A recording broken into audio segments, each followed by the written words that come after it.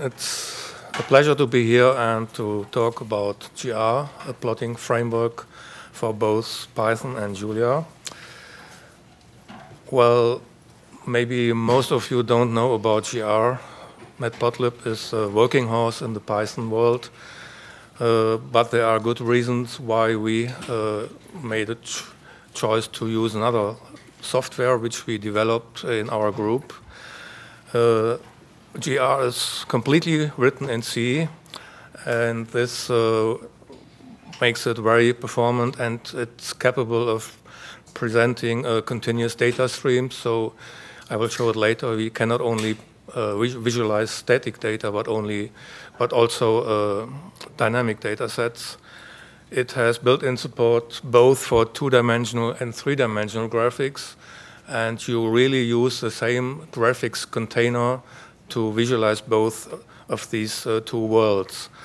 Uh, I think that's also unique to the GR framework. Uh, there's support for different uh, programming languages, also those which are very popular in the data science world like Python or Julia, and even JavaScript. Maybe I should mention that we also support Fortran, but I don't want to enter the danger zone here. then we have several backends uh, for other bigger software packages. Uh, for example, you can GR, use the GR framework as a backend for Matplotlib, which makes Matplotlib much faster, or for Plots, uh, which is the main plotting system for the Julia language. Uh, also, we provide inter interoperability with several graphical user interfaces, such like Qt4. Qt5 is currently work in progress, wxWidgets, and GTK. So for sure, uh, we also uh, have uh, can use our software in web applications like Jupyter, and I have several demos, demos demonstrating this later. So let's first start with GR as a backend for Matplotlib. You can combine the power of Matplotlib and GR. So you can mix uh, Matplotlib commands with uh, commands which are very specific to the GR framework. And since version 1.5, I think you can simply define an environment variable and then you can switch to our backend if it's installed. Uh, it's shown here how to to call our backend. This will signific significantly improve the performance of uh, your Matplotlib applications, especially if you are producing lots of output, for example, PDF, uh, PNG, SVG, uh, and all these things. Uh, you can create plots both containing two and three-dimensional uh, graphics elements from different packages, so you can mix Matplotlib, GR, and probably other packages. And a big advantage is that you can produce video contents on the fly. Maybe those of you who know about Matplotlib, you also have to write an animation layer, and uh, that's not uh, required for GR. You can, uh, with, with the GR framework, you can produce animations on the fly just by adding a single line of code. I have an example later. These are some outputs from the GR backend, which are uh, original Matplotlib demos, uh, and you see there's no difference to the uh, outputs you might generate with TJ, AGG, or other backends, which are very popular in Matplotlib. We also uh, provide uh, support for the new color maps, uh, which have been introduced also in 1.5 or I think 2.0, I'm not sure. And you can use them without any problems. The most popular method to use to use our framework, I think, is to use a MATLAB-like plot interface. Those of you who have uh, some knowledge about MATLAB will see uh, these commands here, and we try to be as close to their API as possible. Sometimes it's not possible because the language are quite different. Uh, whether I'm showing here Julia demos, as in this case, or Python demos, that doesn't matter. You can adapt the code by just uh, small changes to any language. And you will have the same calls for all these uh, visualization programs here. In this case, uh, we have a combined plot of a scatter diagram with a fitted curve. You can produce uh, scatter diagrams with, with, with alpha channels, with transparency. You can produce legends, and the syntax is exactly like you are, like like uh, it is uh, defined in Mat MATLAB. Uh, this is a bigger example. Uh, we read a, a, text file with, with uh, some Teradata here and use a contour F this means a filled contour plot function to produce uh, this uh, image here, which is really pretty fast. And uh, here you see the first three-dimensional demonstration of a su surface plot. And the main thing is that you simply add one line to generate a movie from this uh, scene here. You can specify the figure size and then simply use one call to create a surface plot, which you can, you can see it here is very fast, and I will even show this in the browser later. Uh, the speed is uh, much, much uh, faster than you might be uh, when you can observe it in, in, in Matplotlib. Okay, there are also functions to produce isosurfaces. Uh, in this case, uh, I omitted the code which created uh, the density mask here uh, and only showed the uh, relevant plotting commands. And with this command, you can then create such an isosurface. Uh, in this case, it's uh, written in Julia, but we have the same demo on our website in written in Python. As mentioned before, you can mix two-dimensional, three-dimensional scenes. You see, uh, you can here see three different parts. There's a part which contains uh, simple MATLAB-like commands. There's a part containing three-dimensional commands and uh, a part containing very basic commands to plot uh, a line graph. And uh, you can then uh, produce such visualizations on the fly. For example, this histogram could also have been created by uh, Matplotlib. Uh, I think such uh, at uh, molecular plots are not possible right now. Uh, but in this case, you can mix them as you want. Another very popular way to work with the GR framework is to use the interact uh, module. That means that you have used interact or react in, in a Jupyter notebook uh, to uh, move the graphics uh, with some sliders or to change the color maps as shown here. Okay, the resolution is not very good. Hopefully you can see what's happening, what's going on. But I'll show this later uh, in a live demo so you can see that it works uh, as shown here. And the performance is really that way here, uh, so you can even produce three-dimensional graphics in your browser and uh, change the uh, rotation and tilt ang angles and all these kind of stuff. Uh, we also have transpiled our complete software to JavaScript. This might sound crazy, I know, but it worked. This uh, allows us to use our software also in JavaScript code snippets as, as shown here. So you can embed it into a Jupyter notebook uh, as some JavaScript code, and you get even more performance as shown before, because JavaScript is much faster than any other software I have uh, seen before. Uh, I hate it, but it is, uh, that's a fact. I'm sorry about it. Uh, another way would be to simply to, to display a GR display list in the browser, but this is not uh, the primary aim of this. Uh, I mentioned that we support several graphical user interfaces. One of them is GTK. Well, there's only this text here, but you can uh, add any widget or any uh, button or a control widget to, to generate your plots, and you see the same plot commands as you have seen in other examples. There's all the same syntax, and You don't have to change your code. You can simply copy and paste it into a GTK or, in this case, PyQt application. Uh, you have to tell the Qt system, uh, uh, the GR framework, uh, which workstation type to use. In this case, uh, there's a maybe cryptic type of 381, which means that we want to use a PyQt window. And uh, you have to obtain the, the widget ID where you want to plot, and then you can start plotting uh, with the commands you have uh, seen before. You can, for example, use uh, Qt to select a region of interest or use the cursor keys to move through different images which are part of an instrument data set here.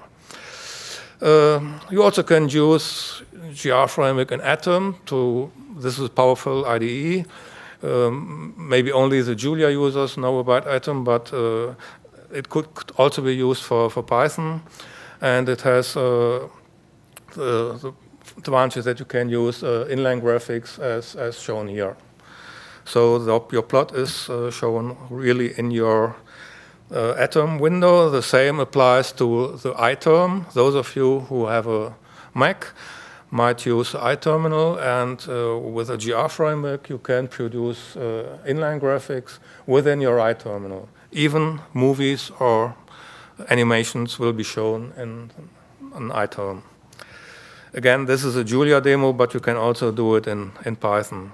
Then we have several three-dimensional modules, for example, to, to visualize uh, molecules, like in this case. Uh, these are simple commands to draw a molecule from an XYZ file, which will be read and then uh, be visualized with a stick and ball uh, model like here, and you can create uh, a movie on the fly or see it while you are running this loop here. In this case, uh, it's uh, plain Python code, and uh, it can be rendered very, very fast. And if you want a better resolution or a better quality, you can export this scene into POV-Ray, and you have much more lighting support, and uh, you can use it for your publications. Uh, right now, we are working on rendering spins. Uh, in, my, in, our institute, there's a lot of scientists uh, uh, working on spintronics topics. And uh, as you can see here, we can visualize spins from, from by, by uh, those arrows which are colored by, and by the velocity vectors which we have uh, given here. So at this point I would like to make some interactive demos. Hopefully the resolution is good enough.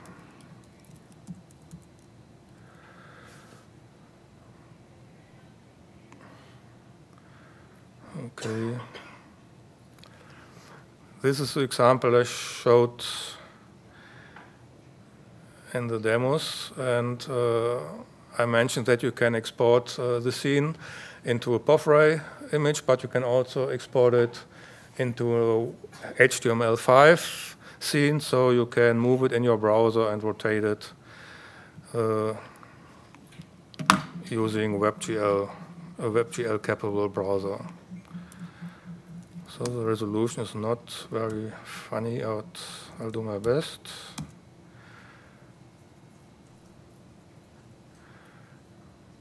Okay. Here I'm going to define a z vector, then call the manipulate function uh, macro. This is again a Julia example, but the same applies to, to Python. And you can then use uh, interact uh, demo to rotate this surface here in your browser. It's a little bit flickering, I don't know why, normally it should not happen. And it's fast enough to visualize even complex 3D scenes in the browser.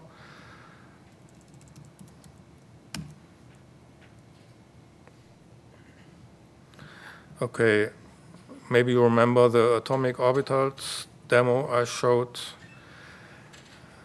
I will run it as a block. And you can see that it's really fast.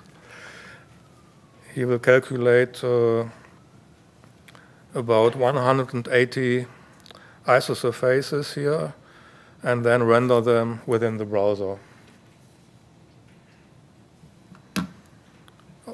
Also, this example is present on the website as a Python script. So don't feel confused if I'm only showing Julia code here.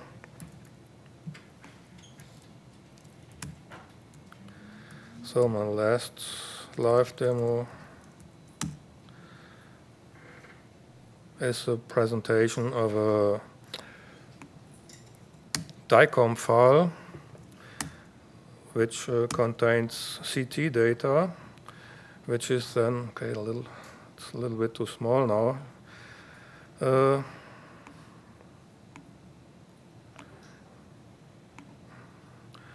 okay, so you can change the angles here for visualizing the data, and you can even change the ISO value, which is used to create the, the plots here. So this is currently really calculated in, in real time.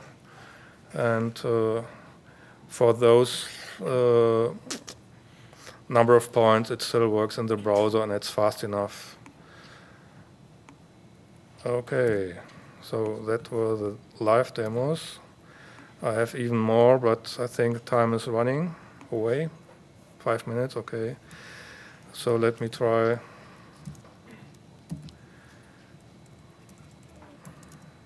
to show some signal processing demos.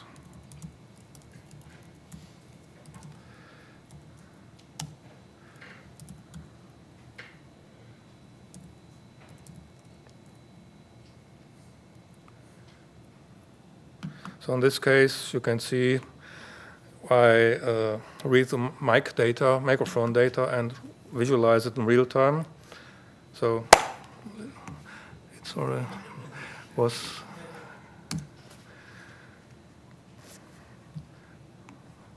you can see it here. And uh, the software is fast enough to do all these things, even with some peak detection and Fourier analysis uh, in real time. Okay. So let's continue the presentation. There are other programs using the GR framework, for example, a molecular dynamics program called pyMolDyn, which we use to visualize so-called vacancies or cavities in, uh, in phase change materials. And this is a very complex program, completely written in Python, with a lot of uh, computing stuff in C, but uh, in this case, it's the visualization stuff is completely written in Python. Uh, as we have a backend for Matplotlib, we also have a backend for the Julia uh, software, which for the for Plots.jl, which is the most popular uh, plotting software in the Julia world, I think. And you can produce these uh, plots here, which are much faster, as users say, than the, the other packages which are offered in the Julia plotting environment.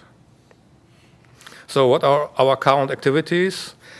Uh, well, right now we want to uh, go away from our uh, Visual Studio uh, Windows uh, uh, version and use a MinGW toolchain to create a Windows package of our software uh, which seems to be much easier, especially if you want to use continuous integration. It's uh, a hard job to, to use a Windows machine for that purpose. And uh, also we want to improve the build and deployment process uh, by offering more self-contained GR packages. In the Julia world, I already have uh, re realized that uh, you can, in, in, Julia, you can install GR in in, in seconds and it works uh, out of the box because I provide binaries for, for Linux and for, for macOS. And then we want to add more uh, convenience functions. Uh, right now we only support a subset of what MATLAB offers. And we also have already a proof of concept for an in-browser JavaScript based uh, renderer, which will then have a functionality like Bokeh or all these tools you might know. A very important thing is uh, we want to add Qt4 and Qt5 backend as a standalone canvas.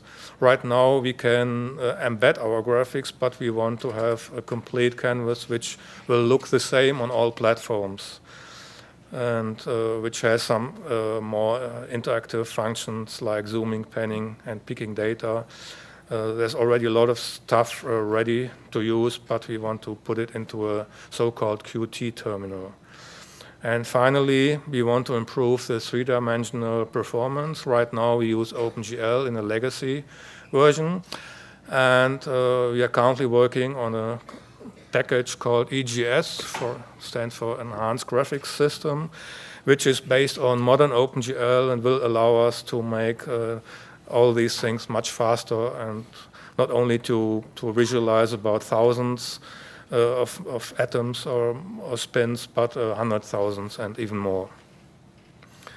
So this is an example for a visualization of microswimmers where we need this performance I just mentioned, or uh, for the visualization of, of spins, uh, like in this example, which you can try out. If you download the PDF, you can uh, use this code uh, in your browser and play with a JavaScript uh, which you see on the right side. It's no time right now. And well, that's all for, for today, and thank you for your attention.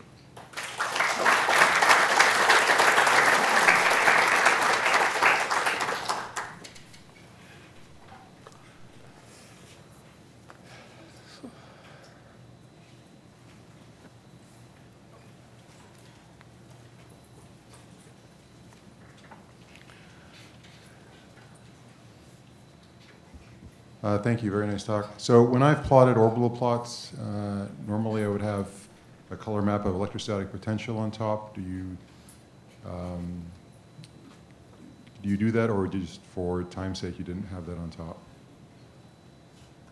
The orbital plots that you showed Sorry, from the atomic, uh, I'm assuming atomic densities. Uh, usually there's a you would put on a color map of the electrostatic potential. Uh, is that easy to do? That's easy to do, yeah. Yeah. You simply need the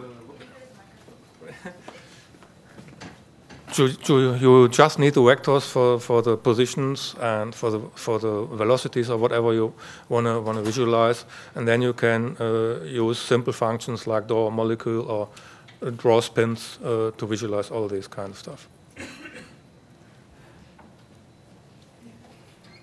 Um, you had that one uh, demonstration where that blue thing was rotating, um, and you said that you could embed that in a, uh, a standalone HTML document. Is, is do you how much of that? Yeah, that one. How much do you do you lose the interactivity or the rotation, the animation part if it's a HTML document? Well, right now you will lose complete interactivity. You, you can simply use it as a static web HTML5 uh, scene. So you can rotate it, uh, like I showed it with a, with a molecule for the, uh, but you can change, for example, the density here. So in this case, you would have to, to write some code to, to change the, the density parameters here, but that's possible too, yes.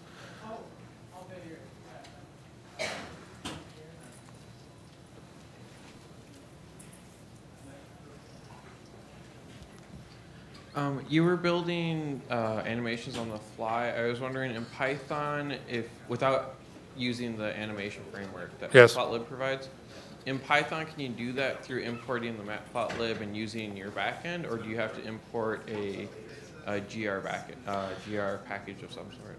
You need GR package. that must be installed on your machine, and then you can, can simply uh, uh, switch to the GR backend in Matplotlib and uh, use animations on the fly. So there's no other software required. I have a follow-up question. That this all sounds really great. So um, is it really simple to do that process, or is there what are is there an, a common roadblock? to Well, there should that? be some demos on the website, which are on GitHub. Uh, I don't know the name right now. Can try to find it. Some plot. Some plot here. Too much.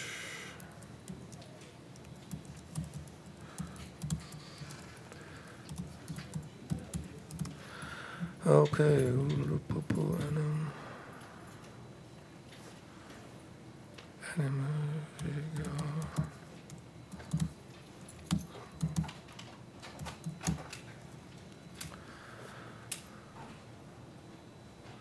Okay, as in this case, we switch the back end here. Then uh, we get into the inline graphics mode here. And this is normal matplotlib code here. And finally, we can then create the animation. Fingers crossed. Okay, and now you have a original matplotlib animation, but the output has been generated by the GR framework on the fly. And you, there's no need for an animation package, or I don't know how it's called in matplotlib.